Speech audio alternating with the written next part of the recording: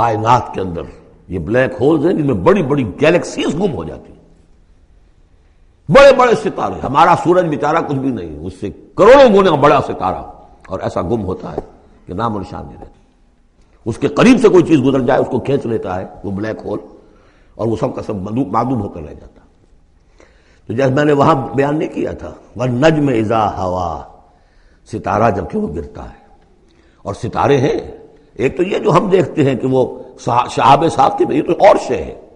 یہ تو جیسا کہ ہم نے دیکھا، کئی جگہ آ چکا ہے کہ شیاتی نے جن کو کھدیڑنے کے لیے، بھگانے کے لیے۔ لیکن ستارہ، بڑے بڑے ستارے معدوم ہو گئے۔ نئے ستارے وجود میں آ رہے ہیں، پرانے ختم ہو رہے ہیں۔ نئی گیلیکسیز وجود میں آ رہی ہیں، پرانی گیلیکسیز ختم ہو گئی ہیں۔ کہاں گئی ہیں؟ وہ بلیک ہولز ہیں اب بھی یونیورس کے اندر۔ واللہ عالم۔ لیکن یہ کہ جس شان کے ساتھ یہاں اللہ تعالیٰ نے تذکرہ کیا ہے فلاح مواقع النجوم وانه لقسم اللہ تعالمون عظیم۔ اور یہ یقیناً ایک بہت بڑی قسم ہے، اگر تمہیں معلوم ہو جاتا۔ ظاہر بات ہے کہ آج اگر کچھ معلوم ہو رہا ہے تھوڑا سا تو چودہ سو برس پہلے تو کچھ پتہ نہیں تھا، ستارہ کہاں ڈوبتا ہے، کہاں جاتا ہے۔ وہ تو شہاب ساقی بھی کچھ سمجھا ہوگا، اس آیت کا بھی مفہوم۔ تو اصل بات کیا، قرآن مجید کا ٹیکسٹ۔ اس کا جو مفہوم آج سے ایک ہزار سال پہلے سمجھا گیا، وہ ہم پر بائنڈنگ نہیں ہے۔ ہاں جو پہل، جو قرآن کا عملی پہلو ہے، حلال اور حرام کے جو احکام ہیں، وہ وہی جو پہلو نے سمجھے ہیں۔ اس کے لیے تو ہمیں پیچھے جانا ہوگا۔ دوڑ پیچھے کی طرف ہے گردش ایام تو۔ اسلاف نے کیا سمجھا؟ ان سے پہلو نے کیا سمجھا؟ صحابہ نے کیا سمجھا؟ اور محمد الرسول اللہ نے کیا سمجھایا؟ جہاں تک دین کا عملی پہلو ہے، پیچھے سے پیچھے پیچھے سے پیچھے، یہاں تک کہ اپنے آپ کو محمد الرسول اللہ کے قدموں میں پہنچا دیجیے۔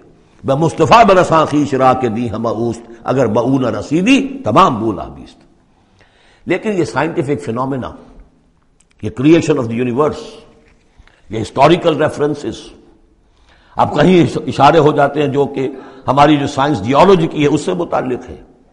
کہیں وہ کاسمولوجی ایسٹرانومی سے متعلق چیزیں ہیں۔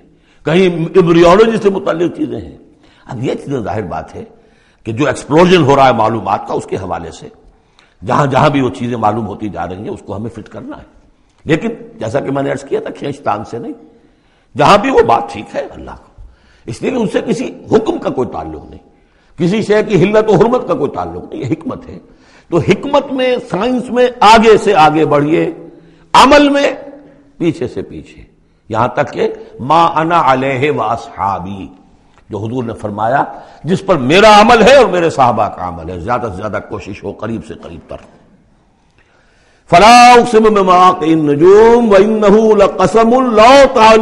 عظیم یہ بہت بڑی قسم ہے جو ہم پیش کر رہے ہیں۔ اگر تم جانو، ایک وقت آ جائے گا کہ جان لو گے۔ ان قرآن کریم یہ قرآن ہے، بہت باعزت تم نے کتنی قدر کی ہے اس قرآن کی؟ سوچو۔ کیا قدر و قیمت اس کی سمجھیے؟ اس پہ ایک زندگی نہیں، اللہ ہزاروں زندگیاں دے اور وہ زندگیاں انسان لگا دے اس قرآن پر، تب بھی اس کی قیمت ادا نہیں ہوگی۔ ان قرآن کریم، اور یہ جو اصل قرآن ہے کہاں ہے؟ فی کتاب مکنون۔ یہ تو چھپی ہوئی کتاب ہے۔ ہم پڑھ چکے ہیں۔ فی ام الکتاب لدینا لعلی الحکیم۔ یہ تو ام الکتاب کے اندر ہے، جو ہمارے پاس ہے۔ وہ ام الکتاب جس کے بارے میں پھر سورہ سورہ بروج میں آپ دیکھیں گے، بل ہوا قرآن المجید فی لوح محفوظ، وہ لوح محفوظ میں یہاں فرمایا، فی کتاب مکنون، لا الا المطہرون۔ اسے چھوتے ہی نہیں، چھو ہی نہیں سکتے، مگر بہت پاک، بالکل پاک مخلوق ہے، فرشتے۔ اللہ انہا تذکرہ۔ فی صحف مکرمت مرفوعت متحرت بےحدی سفرت کرام برارا یہ تو ان فرشتوں کے ہاتھوں میں ہے۔ وہ فرشتے اسے چھوتے ہیں اس کتاب کو۔ کہ جو کرام برارا فی صحف مکرمت بڑے ہی باعزت صحیفوں میں ہے وہ۔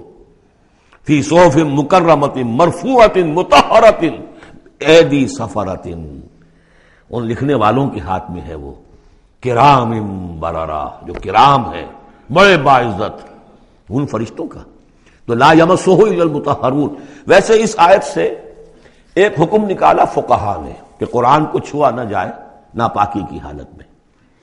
اگر ناپاکی بڑی ہے، جنابت ہے، پھر تو چھونا کیا، پڑھنے کی بھی اجازت نہیں۔ زبان سے، اپنے حافظے سے بھی پڑھنے کی اجازت نہیں۔ لیکن اگر چھوٹی نجاست ہے، تو آپ زبانی پڑھ سکتے ہیں۔ یعنی جس میں وضو کی حاجت ہوتی ہے، لیکن چھونے کے لیے وضو ضروری ہے۔ لیکن یہ اصل میں اس اس آیت کا جو سمجھے ایک ضمنی مضمون ہے۔ فقہ نے یہ نکال لیا مسئلہ۔ لیکن اس کا ایک اور مفہوم جو ہے بہت اہم ہے۔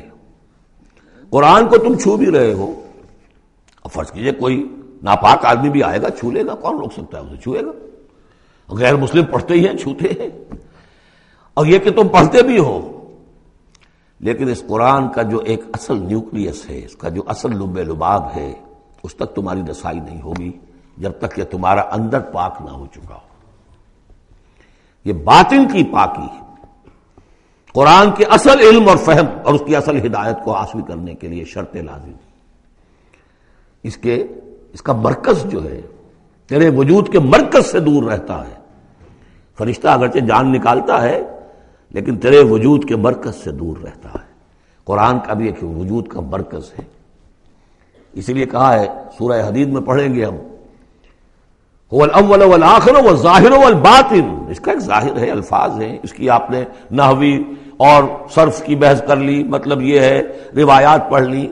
اس کی ایک روح باطنی ہے، اس تک رسائی نہیں ہو سکتی۔ المتحرون اس کو چھو بھی نہیں سکتے۔ وہ لوگ، مگر وہ لوگ کہ جو پاک ہو چکے اسی لیے نوٹ کیجیے، چونکہ وہ مضمون اب آ چکا ہے، ایک مرتبہ اور آگے آئے گا سورہ جمعہ میں، تین مرتبہ آ چکا ہے۔ حضرت ابراہیم اور حضرت اسماعیل نے جب دعا کی تھی، ربنا وبسم رسول منہم یتلو علیہم آیات کا محمد کتاب و حکمت تعلیم کتاب و حکمت کو پہلے رکھا تھا، تزکیہ کو آخر میں رکھا تھا۔ یعنی اللہ تعالیٰ کی طرف سے دو مرتبہ ہم پڑھ چکے ہیں۔ ترتیب اللہ نے بدل دی۔ کمار صلی فیکم رسول یتلو علیکم آیاتنا ویزکیکم ویعلمکم الکتاب والحکمہ۔ تزکیہ پہلے، تعلیم کتاب و حکمت بعد میں۔ پھر سورہ آل عمران میں آیا۔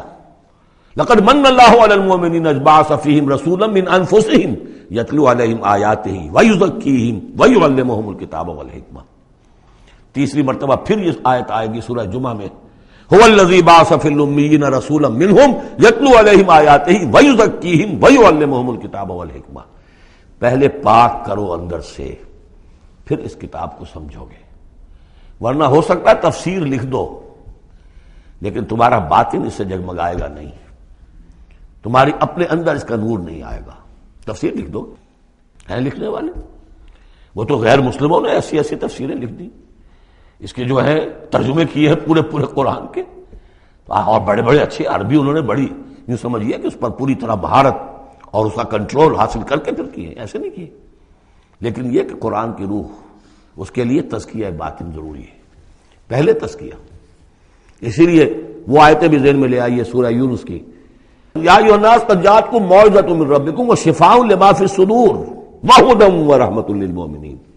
پہلے یہ سینے کے اندر جو روگ ہے تکبر ہے حب مال ہے حب جا ہے، شہرت کی طلب ہے، اختیار اور اقتدار کی طلب ہے، یہ اگر اندر ہے، یہ خباستیں بھری ہوئی ہیں، تو اس قرآن کا جو اصل فہم ہے، وہ تم پر کبھی منکشف نہیں ہوگا۔ ڈکشنری سے دیکھ لو، پڑھ لو، اندر پاک کرو۔